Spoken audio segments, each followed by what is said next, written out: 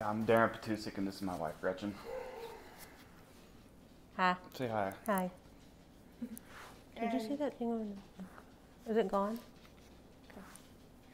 Matt, did he help you buy or sell a home? He didn't help us do shit. Wow. We're here. We're here. Yeah. Hmm?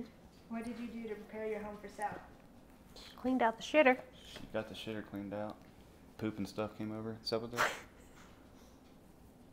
What? How effective was it? Very. it was bad, but it was effective. What? What was the question?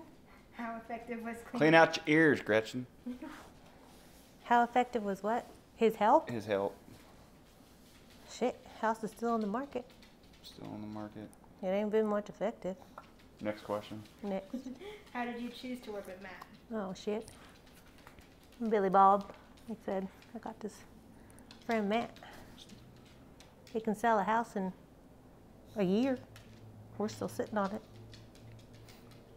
Wouldn't recommend them. Is that the next question? Would you recommend Matt? I would not recommend them. Absolutely not. Terrible. Nope. Is there anything else we should all know? Cook's good. He's a good cook. Makes good food.